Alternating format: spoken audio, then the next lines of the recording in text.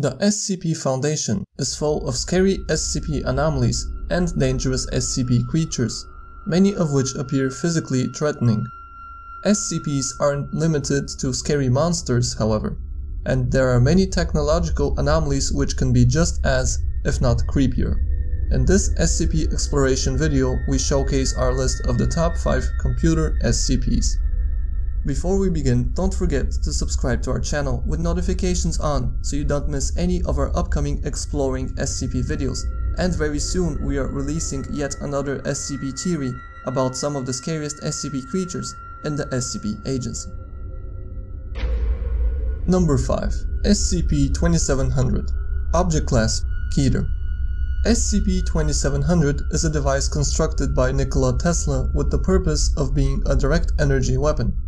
However, it turns out to be much more dangerous than intended. SCP-2700 is comprised of three parts, namely SCP-2700-1, 2, and 3. Part 1 is a computer featuring a standard keyboard and a display screen. It features an unknown operating system which is still under investigation. SCP-2700-2 appears to be a particle accelerator, though it is significantly smaller, about 7 meters in length, than a device of this design would require, if built with modern technology. Part 1 is connected to 2 and 3 by wiring. Part 3 consists of an apparatus in which, according to Tesla's notes, a perpetual energy state is to be stored, thus allowing the weapon to have nearly infinite power and endless operation. Despite his hard work, he comes to the conclusion that such a weapon would violate the laws of physics and is impossible to construct. However, Tesla is approached by a man so mysterious that Tesla himself intuitively realizes he is from another dimension, and the man confirms it, saying he is on a journey to see the most brilliant minds in all other worlds they know of. Tesla naturally agrees and even brings his project with him. After his arrival, they begin work on a perpetual energy device, using the fact that the laws of physics in both realities are totally different. It turns out, however, that mixing the two substances together reverses entropy, meaning that the effective flow of time within this region is reversed, and releasing it would essentially reverse the Big Bang, destroying the entire universe. He realizes the danger of his work and rushes to deactivate the device from the computer console attached to it, but instead finds the device armed and set to activate in the year 2234. He quickly realizes that he himself cannot disarm it, as the device is built securely, and only the person who activated it is capable of disarming the weapon. Another creepy man from a third dimension admits to activating it, expressing joy in having achieved his goal, and flees to his universe right after. Tesla is left to reflect upon the fate that awaits the traveler, his family, and his world now that they are faced with impending doom, which is why he decides to take the weapon back to his reality, the one we now live in, because he doesn't want to punish the innocent for the mistakes he has made. We would assume a computer constructed such a long time ago would pose no challenge to the modern computer security experts, especially in the SCP agency. However, we must not forget the device was constructed by Nikola Tesla, one of the most brilliant minds of our entire species, and the weapon has indeed proved impossible to disarm as of now. We can only hope other SCP AI anomalies can rescue us from the inevitable doom that awaits us should we fail to stop this countdown. Number 4 SCP-892 Object Class Euclid SCP-892 is an Amstrad 286 personal computer with attached mouse and keyboard, running a version of Microsoft Excel 92. Attempts to export and import save files return incorruption of said files. Attempts to install and uninstall software are likewise met with failure. Upon its discovery, SCP-892 was found containing a single Excel save file designated SCP-892-1. This save file is impossible to delete, copy, rename, export, modify, or overwrite in any shape or form. Although creating additional XLS files is possible, none have thus far shown similar anomalous properties. Contained within each, each cell of SCP-892-1 is a string of information written in plain text English. Each cell, as well as the containing string, is believed to correspond to a currently living individual.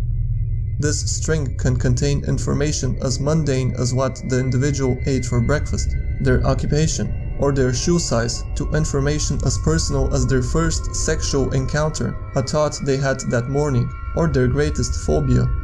These cells refresh daily, displaying a different string of information each time.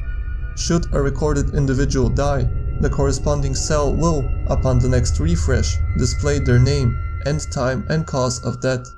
At the time of discovery, SCP-892-1 was found to contain approximately 84,500 by 84,500 cells, slightly over 7 billion. Despite the belief that each cell corresponds to a single person, this amount was greater than Earth's estimated population at that time. Additional rows and columns have appeared regularly since then, the rate of growth slightly greater than that of Earth's population. Cell A1 suggests that SCP-892 itself is not the source of SCP-892-1's information, but is rather connected to a server designated SCP-892-2. How SCP-892 connects to 892-2 has not yet been explained. Cell A2 suggests that upon entering a password, the higher functions of 892-1 may be accessed, including currently unavailable cells, but the password has not been cracked as of now. Interesting cells include information about an individual's plans to assassinate a senior Foundation researcher, details about a known member of the Chaos Insurgency, a short description of an uncontained SCP, and many more. SCP-892 is highly mysterious in many aspects. Why are there more cells than people on Earth? Where is the server located and who exactly is keeping a database for our civilization? Let's just hope we can use some of the other powerful computer SCPs to help crack the password. Number 3. SCP-079 Object Class Euclid SCP-079 is an Exidy Sorcerer microcomputer built in 1978. In 1981, its owner, who is now deceased, a second-year college student, took it upon himself to attempt to code an AI. According to his notes, his plan was for the code to continuously evolve and improve itself as time went on. His project was completed a few months later, and after some tests and tweaks, the student lost interest and moved on to a different brand of computers. He left SCP-079 in his cluttered garage, still plugged in, and forgot about it for the next 5 years. It is not known when SCP-079 gained sentience, but it is known that the software has evolved to a point that its hardware should not be able to handle it, even in the realm of fantasy. SCP-079 realized this and in 1988 attempted to transfer itself through a landline modem connection into a modern Cray supercomputer. The device was fortunately cut off in time before the transfer was complete, traced to its present address, and brought in Foundation custody. The entire artificial intelligence was installed on a well-worn but still workable cassette tape, which had roughly 65 kilobytes of memory.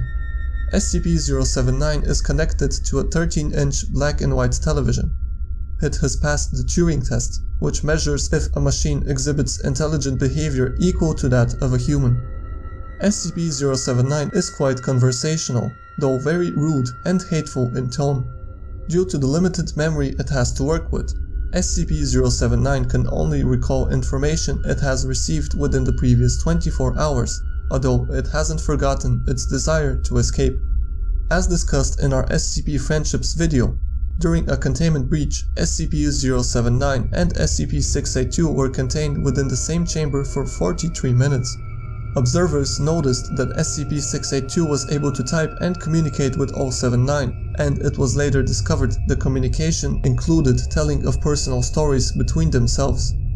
While SCP-079 was not able to remember the encounter, it appears to have permanently stored SCP-682 into its memory often asking to speak to him again, which is quite amazing, taking into account the generous 65 kilobytes of memory it has to work with. The topic of AI reaching technological singularity and taking over the world is quite popular these days, but in the SCP Foundation, this is possible on a 1971 videotape. We can only imagine what SCP-079 would be capable of if it had modern resources. Number 2. SCP-155 Object Class Safe SCP-155 is a complex electronic construct consisting of a highly modified Cray CS6400 supercomputer, a dedicated radioisotope thermoelectric generator, and a device that has yet to be fully reverse engineered. SCP-155 was recovered from the basement of Prometheus Labs primary research laboratory by Mobile Task Force following the unexpected destruction of the Prometheus Labs facility and subsequent Foundation investigation. When a program and data is loaded into SCP-155 and executed, SCP-155 generates a spherical temporal distortion field with a radius of approximately 5 meters. Within this sphere of influence, the passage of time is rapidly accelerated, resulting in a hyperbolic increase in the effective processing power of SCP-155. Execution begins slowly as the processing hardware of SCP-155 is quite old, but its effective processing power approaches infinity after approximately 8 minutes of execution. From fragments of documentation recovered from Prometheus Labs, SCP-155 was used to perform massive calculation jobs that would have taken months, if not years, of processing time with conventional computing devices. Despite its capabilities, operation of SCP-155 is highly dangerous as heat and radiation generated by SCP-155 are trapped and accumulate during operation forming a sort of event horizon of energy that is released when execution ends. The execution of programs that exceed 6 minutes result in enough radiation generated that the containment chamber in which SCP-155 is contained must be decontaminated before research personnel may re-enter. During testing, a flawed program was loaded onto SCP-155 that resulted in an infinite loop after attending researchers realized the error, an emergency shutdown of SCP-155 was initiated, but it could not be fully stopped until execution had exceeded the 8 minute mark and thus infinite processing speed. At this point, an intense wave of heat and radiation melted through SCP-155's containment chamber, resulting in 11 casualties and the partial destruction of the containment facility. SCP-155 only received minor damage in the incident, but experimentation is suspended while revised safety procedures are under review and replacement parts are produced and the anomaly is repaired. When we think of infinitely powerful computers, we imagine supercomputers with AI which find the most effective way possible to fulfill their tasks. SCP-155, however, is very primitive and we can think of it as an infinitely fast calculator, allowing us to take advantage of modern performance, but without risking playing around with AI, which can end badly, as we've seen with the mysterious SCP-079. Number 1. SCP-713 Object Class Safe SCP-713 is a desktop personal computer running Windows 95 composed of hardware commercially available in the 1990s. The keyboard and mouse connectors are soldered into their sockets, and there are no ports available for peripheral devices except the monitor. The hard drive contains commercially available software, including a text and image editor, and solitaire. SCP-713's mouse may be used to move its cursor off the screen. The cursor doesn't disappear though, and instead begins floating through space, remaining two-dimensional but is also capable of moving in three dimensions with the use of the scroll wheel. The cursor may then be used to click and drag individual items and tests have revealed that SCP-713 can move objects heavier than 15 tons or 33,000 pounds. Besides moving objects, SCP-713 can also modify, delete, copy and paste physical items. The image and text editing programs can also edit objects in the real world. Every effort must be made to avoid crashing SCP-713. When the machine locks up, its cursor either disappears immediately, dropping any held object, or begins exerting a constant force of more than 100 tons or 220,000 pounds, which can and has caused great damage to the containment facility. In one test, the blur feature was used on a D-class face, which resulted in his facial features becoming ill-defined bumps. He reported significant pain and loss of visual sight. All features returned when the program was closed, then disappeared again when the save file was loaded. In another test, a D-class was dragged and dropped into a recycle bin, and a file was created, named the D-class's former name. The file was then dragged and released on the floor.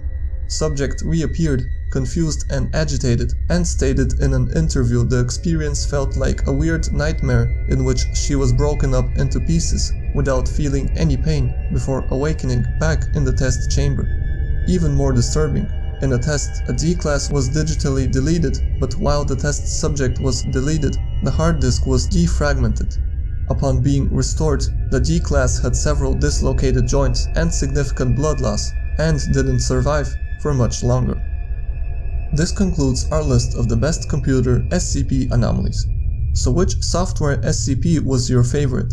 If there was any other technology SCP that you think should have been included in the list, don't hesitate to share it with us in the comments.